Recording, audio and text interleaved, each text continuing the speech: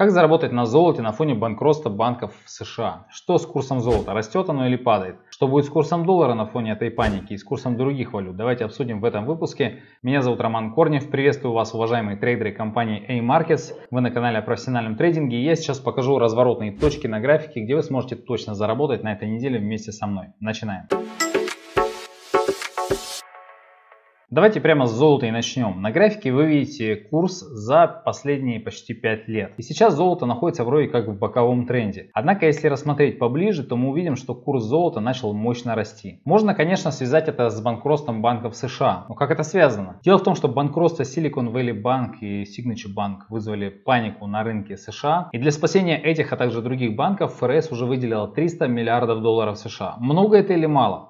Давайте я вам скажу один факт. В момент ипотечного кризиса 2008 года ФРС выделила всего 100 миллиардов долларов. Согласитесь, 300 миллиардов это уже о чем-то говорит. Важный момент. Silicon Valley Bank потерпел крах после того, как рост процентных ставок снизил стоимость его активов, а встревоженные клиенты снимали незастрахованный депозит. В исследовании Social Science Research Network говорится о том, что 186 банков могут столкнуться с таким же кризисом. На фоне этого кризиса, естественно, золото как защитный актив становится очень актуальным. То есть оно стало дорожать не потому, что его стало меньше производить или каким-то образом повысилась его ценность. Именно психологический фактор повлиял на то, что что свои деньги надо перекладывать в более надежные активы. Поэтому я считаю, что в ближайшее время можно рассчитывать на активный рост золота. Давайте еще раз посмотрим на график. Мы видим линию сопротивления, к которой движется золото. Вообще я не сторонник делать прогнозы, куда пойдет цена.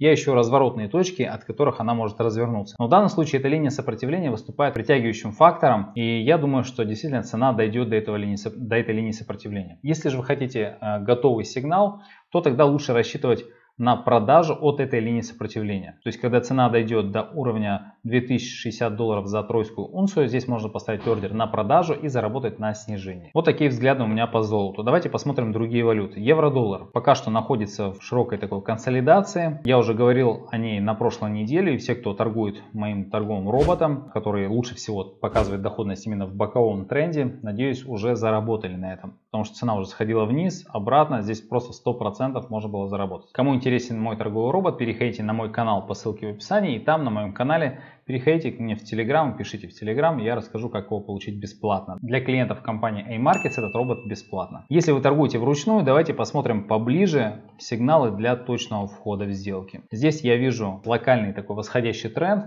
и линия поддержки. У нас тут две линии поддержки. Если цена дойдет до ближайшей линии в районе цены 1.0642, то можно будет покупать и зарабатывать на росте. Если цена пойдет еще ниже, тут будет еще одна линия поддержки, от которой также можно будет покупать в районе цены 1.0611 и зарабатывать на росте. Австралийский доллар сейчас находится около линии сопротивления, она очень широкая, зона вот эта широкая. Поэтому если цена опять дойдет до этой линии, можно будет от нее продавать. Но учтите, здесь могут быть сильные ложные пробои. Если вы хотите более точно зайти в сделку и с высокой вероятностью заработать, то лучше покупать от линии поддержки. Вот здесь вот внизу видите линия поддержки.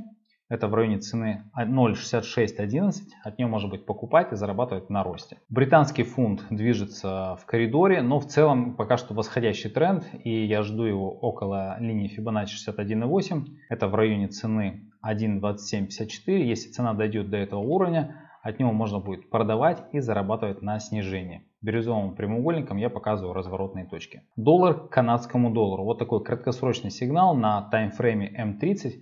Здесь, если цена дойдет до линии сопротивления, то в районе бирюзового квадрата эта цена 1.3762 можно будет продавать и зарабатывать на снижении. Ну давайте посмотрим канадец к швейцарскому франку. Также он имеет линию сопротивления вот такую вот.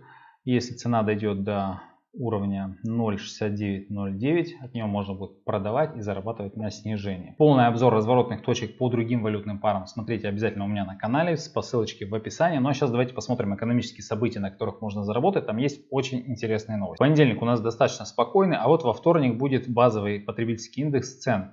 Это новость, которая отображает инфляцию. Здесь в 15.30 новость по Канаде. Ожидаю просто повышения волатильности. В среду будут более интересные новости. Во-первых, индекс потребительских цен с утра в Британии. Также ожидаю повышения волатильности. А вот вечером в 21.00 по Америке решение по процентной ставке ФРС США. Причем ставку планируют повысить. То есть вы представляете, и так экономическая ситуация нестабильная, банки банкротятся, в том числе из-за того, что ставка повышается, и они еще повышают ставку, это может привести к еще большему количеству банкротств банков. Я думаю, просто это передел рынка, глобальный передел рынка. Как говорится, богатые богатеют, бедные беднеют. Ну, что поделать, экономическая модель такова. Я не ожидаю здесь какого-то направленного движения, потому что сейчас уже путь повышения ставок пройден. Здесь просто, скорее всего, увеличение сильной волатильности. Потому что ожидать, что точно она повысится, я уже не ожидаю. Однако, все-таки есть повышение, да, обычно после этого курс растет, на это можно рассчитывать. В четверг решение ЦБ Швейцарии по процентной ставке, э, но не планируется и увеличение, ну и слава богу, как говорится, потому что у них уже кредит Свис, один из крупнейших швейцарских банков, тоже на грани банкротства. Поэтому повышение, конечно, ставок приведет к еще большему банкротству банков. Надеюсь, у них этого не случится. Ну а днем в 15.00 решение по процентной ставке в Великобритании. Здесь планируется повысить с 4 до 4,25. Здесь можно ожидать все-таки направленное движение. Ожидаю, что курс британского фунта будет расти. Вот такие интересные новости. В пятницу достаточно спокойно. Так что событий много, очень интересных событий много, на которых можно заработать. Обязательно подписывайтесь на мой телеграм-канал. Я там публикую заранее о новости, чтобы мы успели на этом заработать. Все, кто подписан, все меня благодарят. Почитайте отзывы. Мы зарабатываем на таких новостях. Если вы только начинаете торговать, изучаете финансовый рынок, обязательно переходите на мой канал по ссылке в описании. Там под любым видео будет ссылка на мой курс обучения трейдингу для начинающих, который при определенных условиях можно получить бесплатно. Поэтому заложите хороший фундамент для вашего трейдинга. Если выпуск был интересный, поставьте лайк, подписывайтесь на канал, ставьте колокольчик. Желаю всем успешной торговой недели, торгуйте с удовольствием. Всем пока!